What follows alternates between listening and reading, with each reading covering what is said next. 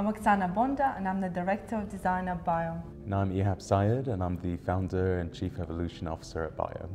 We are driven by a very simple philosophy to allow nature to lead innovation and only have a positive or regenerative impact on everything that we touch. For the County Hall project, we have been able to use our core technologies, ORB and Mycelium. So ORB stands for Organic Refuse Biocompound and the idea is based on the natural plant-based binder. We integrate a variety of food waste and agricultural waste into the binder to create materials.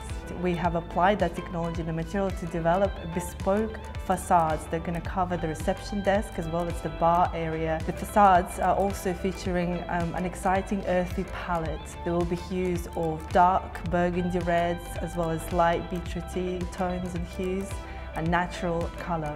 So the ORB facades are made using orange peel, which is one of the problematic waste streams that our food industry produces. Another product that we have used for this project is mycelium baffles. Mycelium is a vegetative root structure of mushrooms. Mycelium uh, composite materials are very effective at absorbing noise and providing a very comfortable sounding space and environments.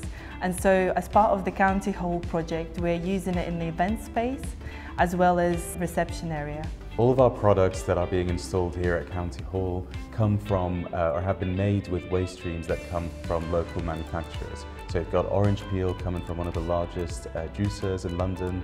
We've got coffee chaff and other waste streams coming from other coffee roasters around the space here in London. I think it was actually just around the corner yeah. we got the coffee from. And that's really to ensure that the entire life cycle contains that regenerative aspect when it comes to emissions, when it comes to transport, as well as the actual matter and product itself when it's being manufactured.